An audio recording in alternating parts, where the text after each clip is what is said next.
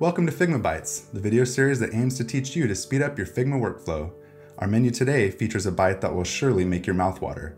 We've covered layer selection in the past, but we recently stumbled across a shortcut that gives us an alternate way to directly select objects on the canvas. Here's a mock-up of some app that lets people catalog their recipes and food experiences.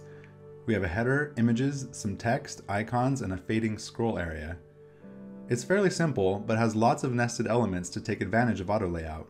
In another video, we talked about the shortcut Command Click to directly select any element, no matter how nested it is in the Layers panel. This is a feature that I use all the time. How about you? While using this shortcut, I accidentally pressed Command and right-clicked.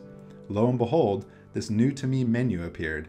It's called the Layer Selection menu, and you can access it with the shortcut Command right-click.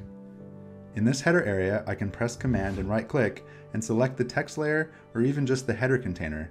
Without directly selecting, it would take a few clicks to get to. So the Layer Selection menu is an alternative to command clicking. Where this menu really shines is for directly selecting locked layers. At the bottom of this mock, there is a faded scroll area that is locked and icons that are locked. Oops, those aren't locked, they should be. Let's fix that. Maybe I want to quickly make a change to the scroll area of one of the icons. I could go to the Layers panel on the left and select them there, but in the moment, it can be nice to stay as close to the object in the canvas as possible. If we command right click around this area, we can see our scroll layer and select it. I could go ahead and make changes in the design panel if I wanted to. If I wanted to quickly unlock it, now that I have it selected, I can press Shift Command L to toggle open the lock. I'll make some adjustments and then press Shift Command L again to lock it.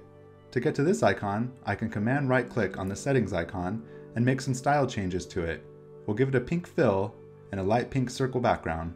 And that's how you use the layer selection menu to directly select any object in your canvas, even if it's locked. I hope this Figma Bite saves you some selection sanity. Thanks for watching.